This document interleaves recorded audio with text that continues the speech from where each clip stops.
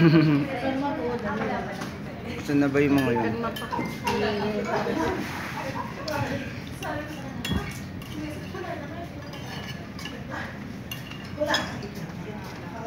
May mga juice na sila. Dito pa wala. Ayan. Hi, kain ng monay.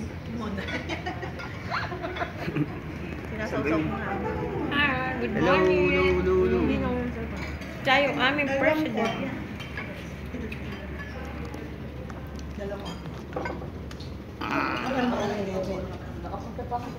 Pupunta ako sa bahay nila. Nakapunta na ako sa Antipolo. Hindi mo nga ito nadalaw na.